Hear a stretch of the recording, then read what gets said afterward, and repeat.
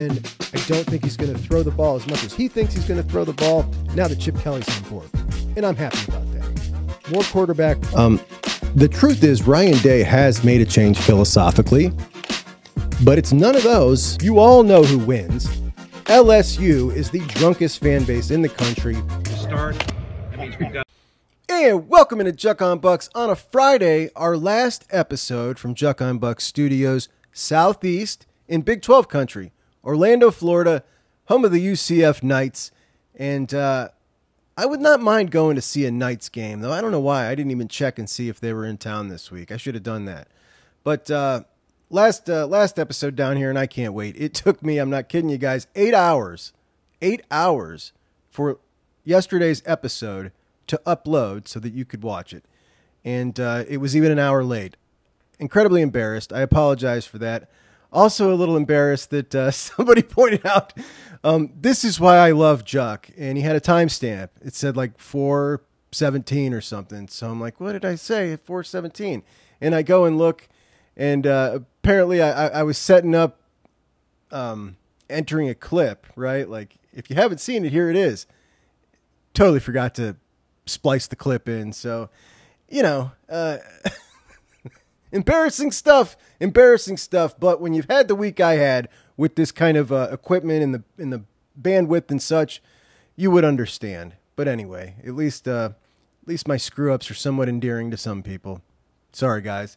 But today we're going to go over our weekend slate of picks, the best games of the weekend. But first, we're going to talk about Nebraska as the Buckeyes take on the Huskers in game number three of the four game stretch that we said is going to define the regular season. Obviously, you won the first against Iowa, lost the second in a heartbreaker out in Eugene. You got Nebraska, and then the really big one against Penn State. Now, as we all know, college football, you got a different team every week. These are young dudes, and the best teams are the most consistent good teams. Nebraska absolutely destroyed last week against Indiana. I suspect the Buckeyes are going to see a different version of the Huskers. It's obviously stolen some juice from this game. We thought that they were going to come in with potentially, well, potentially undefeated a while back, and then after the Illinois loss, just by a couple of points, six and one. We certainly didn't think Indiana would beat them back then when they lost to Illinois. But now they've lost two games, one of them an absolute demolition from Indiana. But we now know that Indiana is the absolute real deal, right? But after a loss like that, you expect a team that's coached well to make a whole lot of changes. And I think we'll see a much better Nebraska team in Columbus than we saw in Bloomington. At least they're hoping so. Nebraska, of course, led by Dylan Raiola, freshman phenom quarterback, one time Buckeye commit, one time Georgia commit, one time student at four different high schools, averaging 225 passing yards a game, just a 66% completion percentage, and now on the season, nine touchdowns, six interceptions. Started off the year pretty good. The last three games, not so hot. Offensive coordinator Marcus Satterfield has been the target of a lot of ire from uh, from the Husker faithful this week, as he had a bit of an embarrassing clip floating around from his press conference. Marcus, as a play caller, what's that target number for yards per play that you would aim for? That's within reason. That's that's a good play. Or it's a, uh, between four and six. I don't know what that. I honestly don't even know what leads the country in yards per play. What would be a, what would be a top yards per play? You guys are at five and a half right now. Um, that's why I asked. Yeah, it's a great question. You stopped me. I don't want to lie to you. I don't know what's leading the country, but I want it to be a little bit more than what it is now, for sure. I can't see this dude being back next year. He might not make it through the rest of this year. And when I see a coach who I respect, and then I see this isn't going to sound nice, but a bozo like that in the coach's employ, it kind of shakes me to my core because I thought that I knew Matt Rhule. And I feel like I could talk to that guy, that Satterfield fella, and in five minutes understand that he's not on the level. So disappointed in Matt Rhule. Maybe he's not the guy I thought he was. But Dylan Raiola, three picks last week. How do you beat this kid? Obviously, as a freshman, you beat him with pressure. He can't deal with it yet. It's one of the biggest reasons that you don't want a freshman to play right away. He also can't move as well as he could back in his junior year of high school when we all first started watching his film. And, uh, you know, he's put on a couple of pounds, and it's got to be tough for him because the kid's clearly got the gene. Dad and uncle were an offensive were offensive linemen. Um, and as someone with the gene, I know what I'm talking about. It's both a blessing and a curse. You can gain muscle really easy, but it's tough to keep that fat down as well. He's a big boy, and uh, he's tipping the scales pretty heavy right now, not moving so hot. Obviously, he makes some really impressive throws, kind of like uh, the the touch that he can make throws with. Sometimes just really impressive. The off-platform stuff, which sometimes I think he relies on a little too much. Sometimes I think he does it when it's not necessary because he thinks it looks cool, and he does a lot of things because I think it looks because he thinks it looks cool, and it does. He looks pretty cool. Uh, you know, the Mahomes stuff I've talked about before. It's just a little over the top. All in all, though, I think the dude's going to be a really good quarterback, but he's not ready for what's coming for him this Saturday, as the Buckeyes seem revved up and ready to uh, get some pressure at all costs, which he's not going to deal with.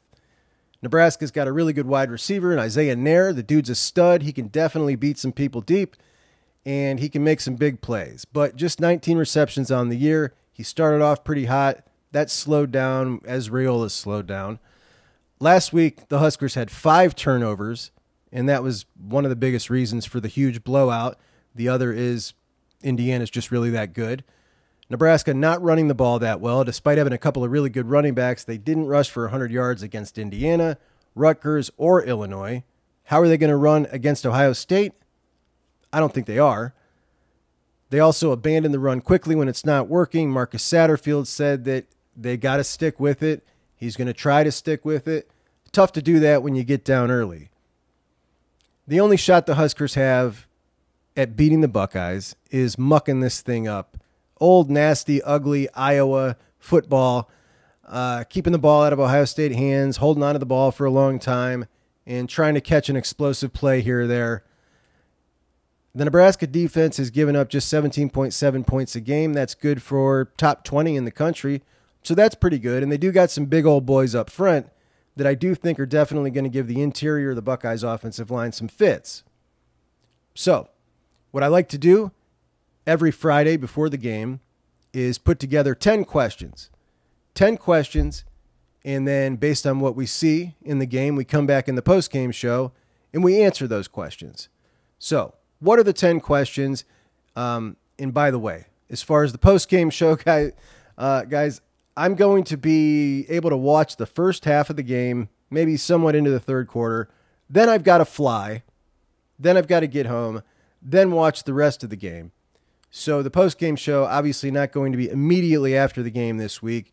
We're either going to go late at night or Sunday morning. Uh, we'll decide. We'll see how uh, how fast I can get unpacked, get my equipment back set up at home because I did bring everything. Though I probably didn't need to. I would have probably been better just recording all this off my iPad because uh, it's just been a nightmare and a disaster. But you know, here we are. You live and learn. Anyway, our ten questions. Number one and we always start with this one. Will the Buckeyes get off to a fast start? It's been a problem for years. We've now had three games this year that I would consider that they got off to a good start, a good quick start, um, which is definitely better than last year. So all in all, I'm pretty happy about it. But always target number one. Can they get off to a good possession on offense and a good possession on defense to set the tone? Number two, Zen Michalski, the backup left tackle. Obviously, this is a key to the rest of the season, maybe the biggest key for the rest of the season. The one position that you didn't really have depth you were comfortable with. You lose Josh Simmons. How's Zen going to do? They're going to be coming for him, no doubt about it. And we know that Penn State is definitely going to be coming for him. So, how's he going to hold up? A great relationship with Donovan Jackson right next to him. And uh, I'm really excited to see how he does. I'm certainly rooting for him. I think he's a great kid. He's got the size. Folks call him athletic. I've not personally seen that myself. I think we'll all get a good gauge after this game. And I'm excited, man. Excited for Zen. Number two, at right guard. Tegra's got a hell of a matchup. Nebraska got some studs inside. And remember, if you forgot, Tegra also got injured during the Oregon game. I think it kind of got overshadowed. But Tegra was injured early in the Oregon game. Austin Siereveld came in Austin wasn't playing too good, and then Tegra came back in. Are we done seeing the rotation between Tegra and Austin? Will we see some more of that? Remember that Oregon game was going to be the first game that Tegra was just going to get all the snaps. And we didn't see that because of injury. I think it's going to be all Tegra all the way. But, you know, until we see a full game of that, you know, yet to be seen. Um, so that's question number two. Number three, the tight end, uh, Will Kacmarek, injured, broken collarbone, I believe. Who's going to get his snaps? Probably Bennett Christian. Do we also see about 20 snaps out of Jelani? Or do Gee and Bennett Christian eat up all those snaps and Jelani gets the five he's been getting the last couple of games? Do you even care anymore? Are we done talking about Jelani this year? Are we ready to move on and say he's on the shelf till next year? We're done with the conversation. I don't know where you guys stand on it. Uh, I would still like to see him repping and trying to improve. But if he's not cutting it during the week of practice, then, you know, it is what it is, man. Number four, Quinshon. Does he play? If so, how much? Number five, James Peoples. Do we see James Peoples? I love Jimmy the Peoples, and I want to see him in a game that means something.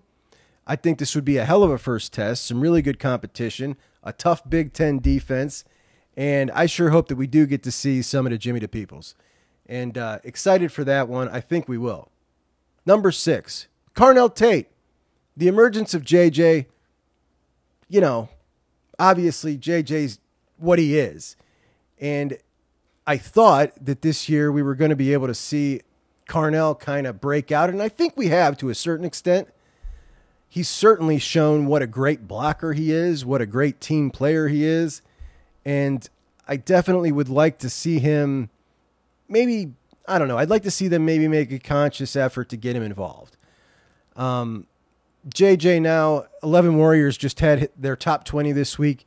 They got JJ as the number one player on the team. I think that I would say JJ is the number one player on the team. Would you? I think most of us would say that at this point, which is just insane that a freshman wide receiver is probably the best player on the football team. I mean, it's amazing. And uh, as far as Tate goes, that's got to suck. We didn't see it's got to be awesome, but it's also got to suck. We didn't see him get involved in the Oregon game till way at the end, and he made a clutch play, and that was great to see. But I would certainly like to see him maybe get a little more action. So I'm looking out for that. As so far this year, just 15 receptions halfway through the season, 230 yards, and just one touchdown. I'm sure he was hoping for more. And based on everything he's done in the run game, blocking downfield in the pass game, I would definitely like to see him, you know, in a game like this where you're probably going to get up a little bit early a conscious effort to get him some balls. I definitely like to see it for him. I think we're gonna. Uh, I wouldn't be surprised if they make that attempt to get him more involved, just as you're moving forward to keep him engaged. You know, these are things you got to think about. Number seven. Let's move to the defensive side of the ball. Do we see some new concepts, some new techniques from the defensive ends, basic stuff, exotic stuff? I don't know. We got no idea. Our hope is we see some more aggressiveness in one way or the other when it comes to that. Do they let it loose against Nebraska? Or do they hold most of off, you know, most of what they're going to do off for Penn State? Do you want to practice some new things against Nebraska or keep it in disguise for Penn State? I don't know. It'll be interesting to see, and it's probably, you know, the biggest question when it comes to the defense. Number eight, the linebackers I thought Sonny and Cody played really solid against Oregon. That was two solid games in a row. I think was that three solid games in a row from Sonny, which was great. No, Iowa he played really good, but that was in the 4-3 playing Sam. And then you had Oregon. So two really good games in a row from Sonny, I think. Uh, pleasantly surprised with him against Oregon. Great news. Great news for him. Great news for the defense. Now, Nebraska runs a lot of 11 personnel, which means we're going to see plenty of 4 3, which means we're going to see a lot of Arvell. Arvell doesn't play great for whatever reason in the 4 3. He's played better in the 4 2. Um, Sonny, the opposite, which is just wild. But I want to see more Arvell. I don't know if we're going to see more Arvell when they drop down to the regular base defense but I certainly would like to see some more Arvell on that as well. Um, the good news is he's going to get more than the four snaps he got against Oregon, where he came in, didn't play well. Uh, but when you only get four snaps, you make one bad play and you didn't play well. You know what I mean? If he would have played 10, maybe he would have only had one bad snap. It's tough to really judge anybody off of four snaps. But I would certainly like to see uh, some more Arvell, so I'm kind of looking forward to that 4 3 this week. So, what do we see out of the linebackers? Do we see good play from Sonny again? That would be an excellent sign. Cody, obviously, he had the one big missed tackle, but other than that, I thought he was pretty solid. And do we see some more Arvell? Um, could Gabe Powers maybe start getting in the mix in the second half of the season? I would definitely like to see that as well. I'd like to see him get a shot. We've seen a lot of CJ Hicks getting a shot. I definitely like to see Gabe out there in some meaningful time as well. Number nine, uh, Lathan Ransom. Now we know Ryan Day confirmed it in his Wednesday evening. Uh, what do they call it? Lightning round press conference after practice that Lathan definitely is hurt. So what do we see in his place? Do we see Jordan Hancock move back to safety? Jermaine Mathews or, or uh, Low Styles come in at nickel? We know that Jermaine was repping there for a couple weeks in the preseason. I don't think he's a great fit physically for uh, kind of filling in in the, the linebacker style tackles that we see Hancock make up towards the line of scrimmage. Lorenzo Styles may be a little more fit for that. Do they split both of them up? Or do we see a guy like Jalen McLean, who I absolutely love, uh, or Malik Hartford? But, you know, Jalen McLean, a younger dude, but man, he's just, uh, he's a bad dude. I think there's a little something there to him. I think there's a little something there to, the, to him. A kid who was uh, undervalued uh, on the recruiting trail. And I think they might have really nailed it with this dude. He's got some serious juice. He might be something moving forward he might be a very, very pleasant surprise. And I would certainly like to see him get a shot if they choose to go that direction and not scramble everything around, i.e., moving Lathan out of position, but just bringing Malik or him straight in. I would definitely like to see some of McLean in that situation. But those are our 10 questions, along with the final score prediction. Will I get it right or will I be way off? We're going to go with Buckeyes 42, Huskers 14. So, to reiterate, fast start, Zen, Tegra, tight end, Quinshon, James Peoples, Carnell Tate, the pressure package, the linebackers, the safety, and the final score. And we will go over these answers in our post game show along with all of your comments because we pull it up and uh, and just juck around. You know what I'm saying? That's how we do it in the post game show. Everybody gets their voice heard. You guys lead the show, um, and it's going to be a whole lot of fun. So, whenever that is, please do subscribe. Set your alarm bell, and we will definitely uh, have a good time in the post game show, whether that be Saturday night or Sunday morning. Um, and that's that with that. All right. I always like to go over the previous week's highest rated games top 10 games to kind of gauge the pulse of what the average fan is watching. No, they're not casuals. They're not the casual fan. We're the psychos. They're just average. They're the average fan. We're the insane people, the junkies, and this doesn't apply to us. So, what did they watch the most? Georgia and Texas, of course, was the number one game of the week. Also, the number one game of the year now, with 13.2 million viewers, which barely edged out Alabama and Georgia, which barely edged out Ohio State and Oregon, which sucks. I thought the Buckeyes and the Ducks were going to take the number one spot. Kind of a bummer. If you look at the peak numbers, they were pretty much all three dead even. But, you know, you got to go by this. And uh, they take the top spot.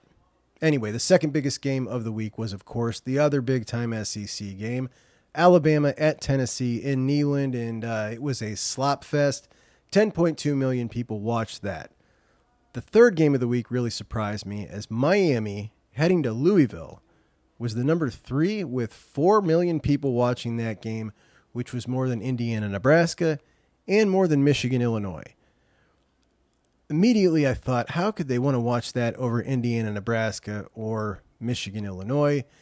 And, you know, then I realized this is probably me just really wanting to see that Indiana, Nebraska game and really wanting to watch Michigan, Illinois to watch Michigan lose because I was really into those two games. Both of those were three million. Again, four million for Miami at Louisville.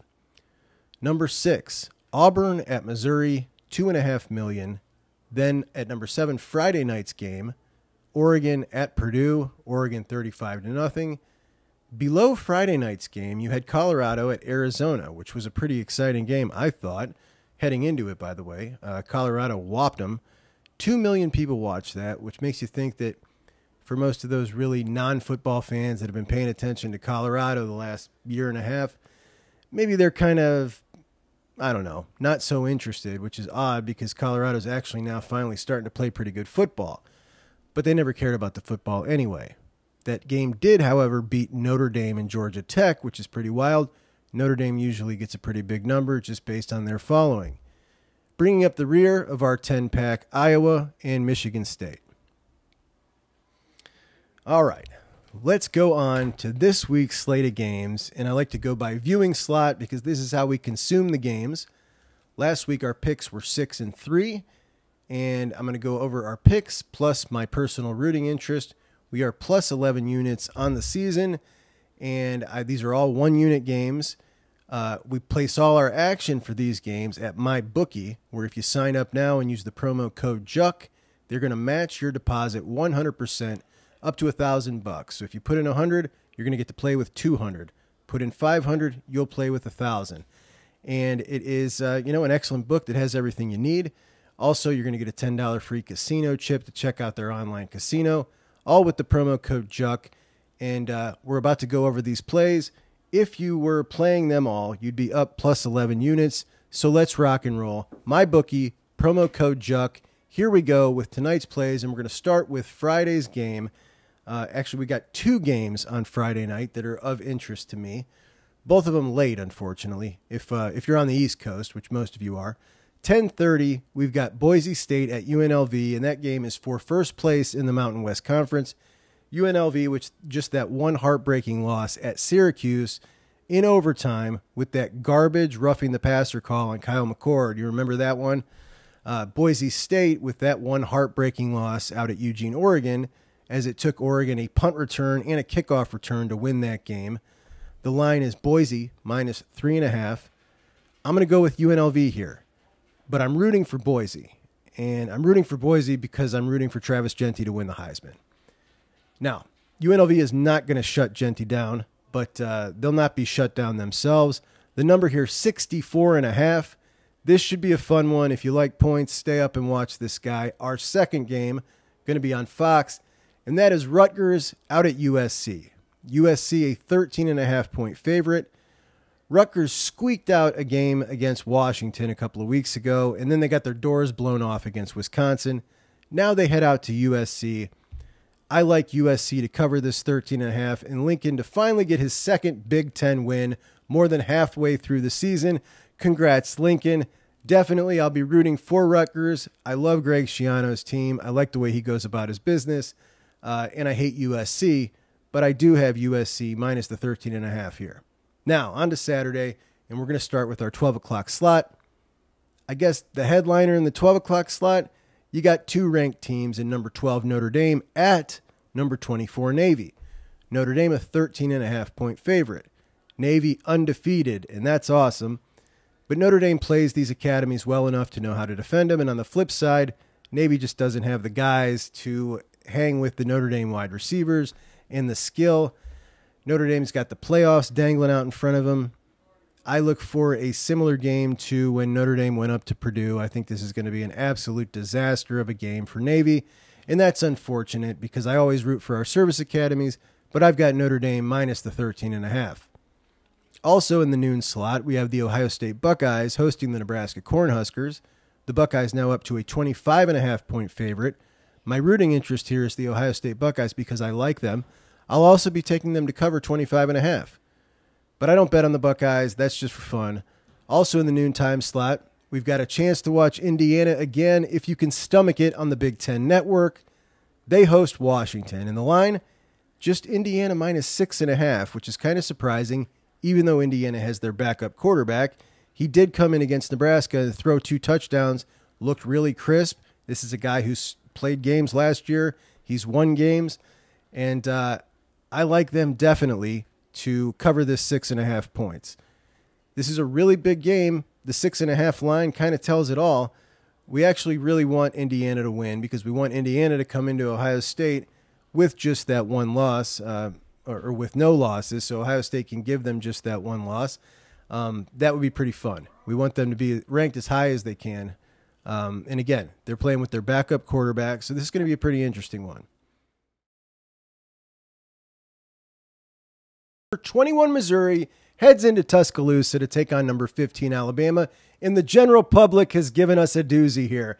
Alabama opened up as a 13 and a half point favorite, and the general public, like they often do with a brand name team like Alabama, they know Alabama just lost. They see that 13 and a half point line, and they say, Ooh, Alabama's going to be pissed off. They're going to go in there and they're going to kill somebody after that loss.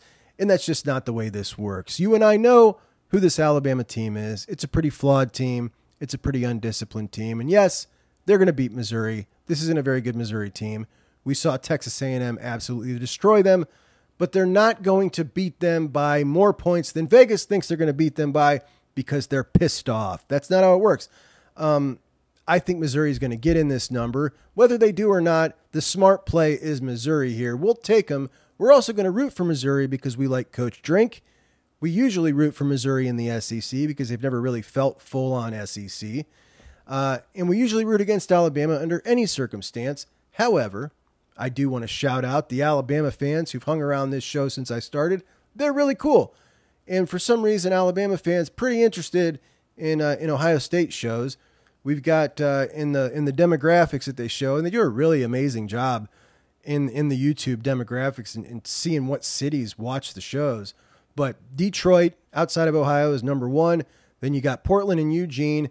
Then you've got um, Montgomery, Birmingham, uh, Tuscaloosa, uh, even that little town that Malik Autry's from, Opelika, Alabama, uh, and then a bunch of Texas towns around Austin. So you've got Michigan fans, Oregon fans, Alabama fans, Texas fans. I'm assuming most other Ohio State shows probably have a similar kind of breakdown, but that's who's watching Buckeye Media. I apologize if you keep seeing these transitions. Um, the truth is, if I record 10 minutes and hit stop on this little photo booth app, it just won't, it, it erases. It's a gray box when I'm done. Like, can't record on photo booth. Like, what, what's going on in this place? I, I don't understand. Anyway, let's get to our next game. We've got Vanderbilt, number 25, hosting number five, Texas. Vanderbilt with the opportunity to beat at home Alabama and Texas in the same year. Probably not going to happen, but they are 18 and a half point favorites. And if you're going to keep giving me all these points with Vanderbilt, I'm going to keep making money with them. I'm taking Vanderbilt. Now, on to the seven o'clock time slot. And we've got five games of interest in this slot, headlined by LSU and Texas A&M. LSU and Texas A&M both lost game one. LSU to USC, Texas A&M to Notre Dame, both in close losses, and since then have been lights out. They're both number one in the SEC, undefeated in the SEC, just that one loss on the season. This game is a pick'em, opened up at Texas A&M minus two and a half. I like Texas A&M here. Um, I like Texas A&M as a rooting interest as well. Under normal circumstances, I would root for LSU because I think that the program is unique in college football and I think that's what makes college football really cool. Unique programs like LSU. But I can't root for Brian Kelly in any situation. Brian Kelly in year three, Mike Elko in year one, both seem to have their programs really on the right path here. I think the difference here is going to be the Texas A&M defense and the 12th man at Kyle Field. And those those cool yell leaders in the white suits at Texas A&M. Like those guys make all the difference in the world. So we're going to go Texas A&M in the pick'em here. Rivalry game, Michigan, Michigan State. Two rivalry games coming up here. Uh, Michigan is a five point favorite at home against Michigan State. And I don't know if I got a blind spot here when it comes to Michigan. I probably do. But I think Michigan State is a pretty darn solid team. If they were playing on a neutral field, I'd make Michigan State the favorite. Michigan being a five point favorite, I just don't get. I, I really don't. All Sparty has to do is score 14 points and they win this game. I don't trust Sherrone Moore to do anything right. He's talking about potentially switching the quarterback again. Like, no, give me Sparty. Go green, go white. All right, another rivalry game as Kansas State hosts Kansas. And this line has got us begging to go one way. So we're going to go the other way, of course. Kansas State, ranked number 16 in the country. They are 6 and 1. Kansas has won just two games on the year. They've been pretty dreadful. You've got a battle with two of the best coaches in college football, in my opinion, in Kansas State's Chris Klieman. Kansas's Lance Leipold, who was the Curt Cignetti before Curt Cignetti, just not quite as good. He resurrect, resurrected. He he he wrecked Kansas. he wrecked Kansas, and uh, and they paid him seven million bucks a year to stay. He's also an older guy, like Cignetti, older. I mean, sixty three. Well, Cignetti's sixty three. I don't know how old Leipold is, but he's similar age, and he's going to stay at Kansas. An awesome coach. They've had a bad year, no doubt. Kansas State has had a really good year, and uh, they're cooking with gas. They got a lot of talent. Avery Johnson's a stud. They're only a 10 point favorite at home. And this line is just begging me to take Kansas State, which means bet the house on Kansas. That's what it means, guys. There we go. And on to the big time game, which is on Peacock, and none of us are going to watch it, as Penn State heads up to Camp Randall to take on some nighttime voodoo up at Camp Randall. I don't know what Penn State is. They came out and beat West Virginia really big. We thought that was a really good win eh, West Virginia's so so. They go out to SC. People were talking about, is this a big win for James Franklin? SC's one and four in the Big Ten. Nope, wasn't a big win for Franklin. And it went to overtime. And Penn State could only throw to their tight end.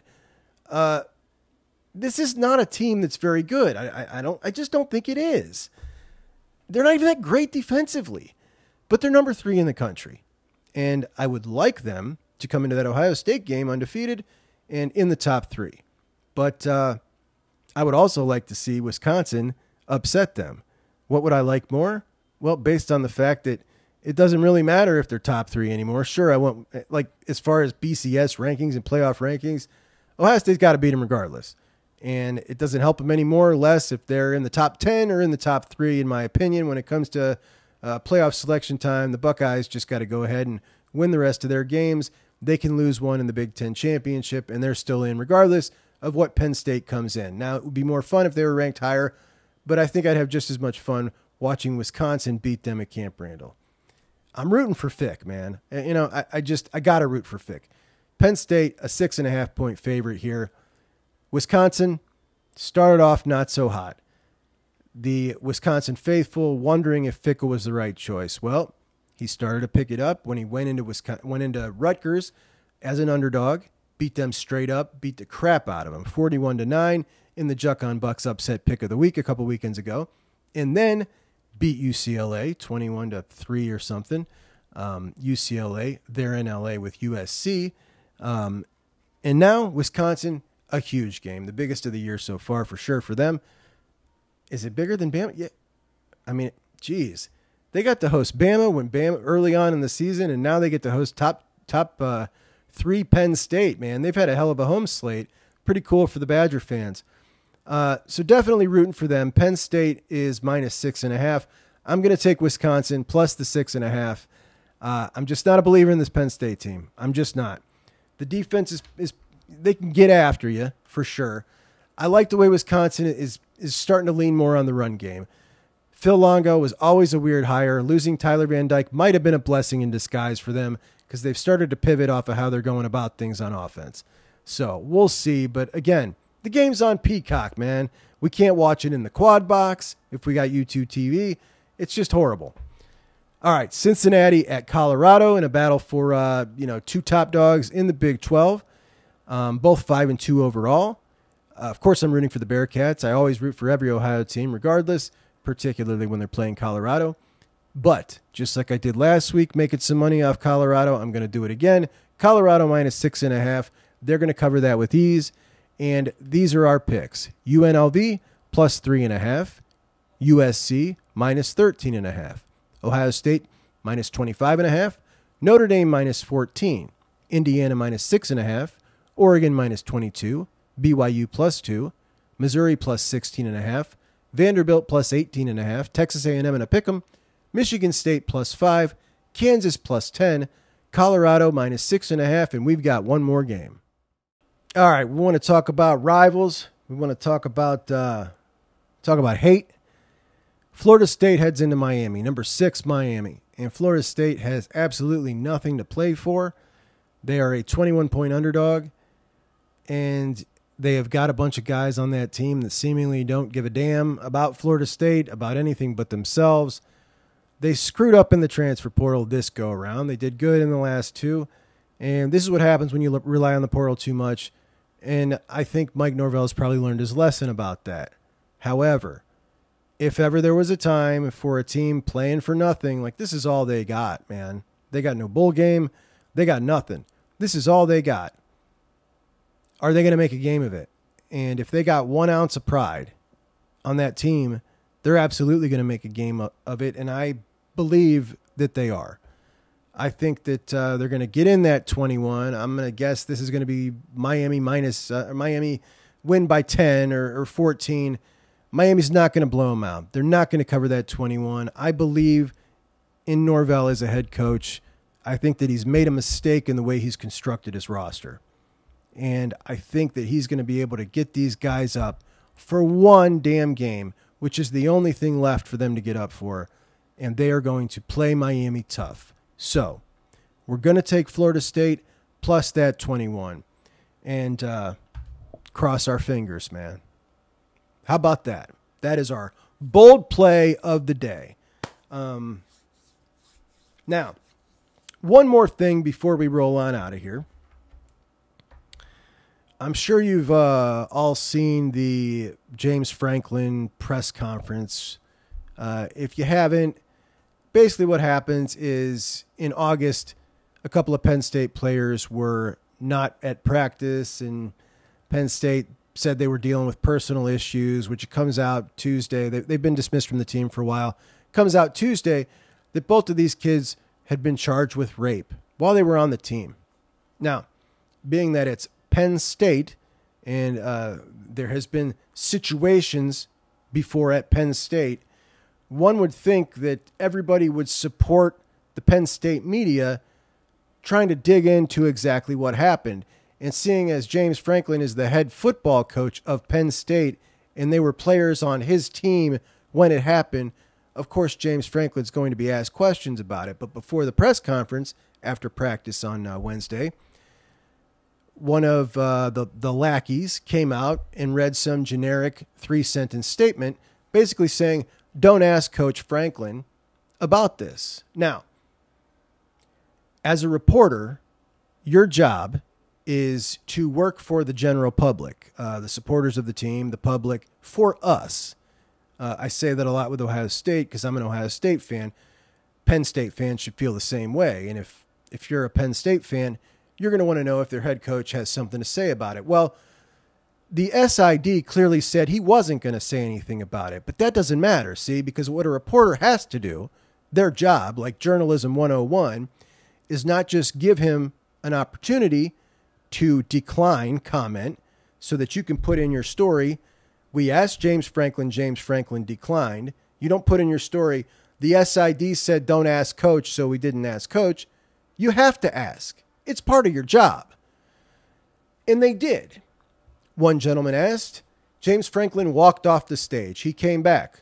Now, Audrey Snyder then asked. Now, Audrey Snyder, one of the most respected journalists in college football, because she doesn't put up with any nonsense, which you know me, I rail against this nonsense and these reporters being chummy with the with the programs that they work for so that they can get more access and the way this this is all screwed up the whole situation um, she doesn't do that. She does her job. She does a great job.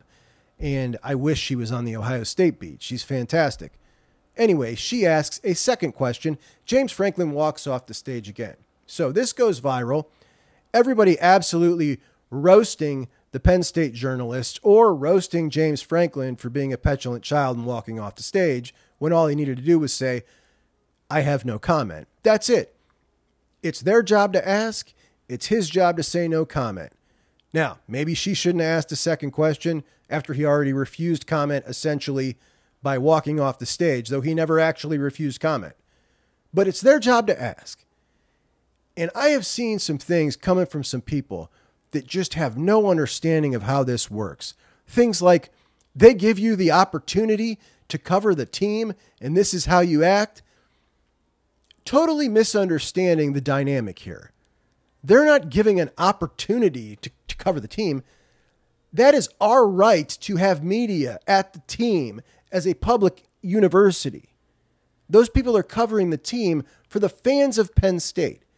In Penn State, do they do, do they gain advantage from that? Are have you ever looked at advertising prices? Those journalists built these these programs.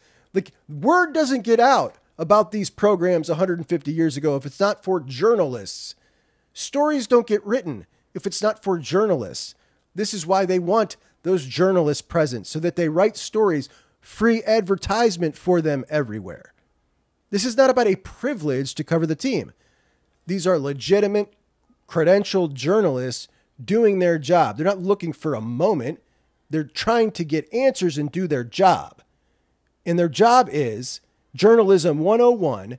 You are to ask that man, these players on his team, while they were on his team, are now on trial for rape.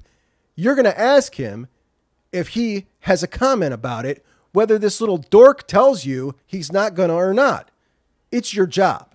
So, y'all got this way twisted, man. Those people work for us. And most of the time, they suck. And then they come and do their job like you would want them to do. And all of a sudden, they're getting crap. Are you kidding me? I can't stand these people most of the time. I think 80% of them suck. I can give you on a list of, of five fingers the biggest beat in the country, the Ohio State beat. There's but a few who are really good at their job, who would have done exactly what Audrey Snyder would have done, which is I'm going to ask this uncomfortable question, whether your little lackey tells me to or not, because you're the $10 million a year coach who has two players on his team now on trial for rape. That's the job, dude. You don't walk off like a child. You say no comment like a man, like a grown up, like an adult.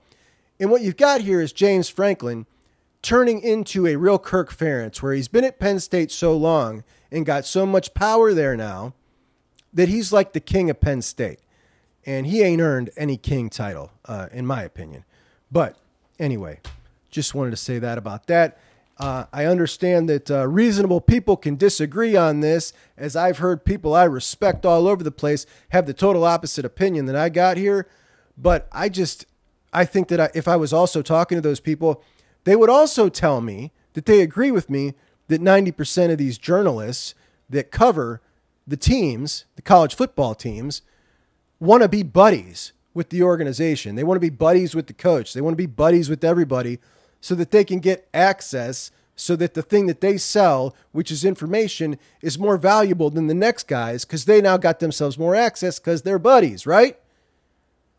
They would agree with me on that. So you can't have it both ways. Then you get a then you get a real journalist like the first gentleman who I don't know at Penn State and Audrey Snyder who asked the tough question to get him on record, which is their job to get him on record and he refused, by the way, to put himself on record by walking away. He did it intentionally. Um, you know, you can't have it both ways in, in anything. So props to Audrey Snyder and to him. Props to the people who understand that those people are working for us. And it's not a privilege for them to cover the team. It's our right to have them covering the team.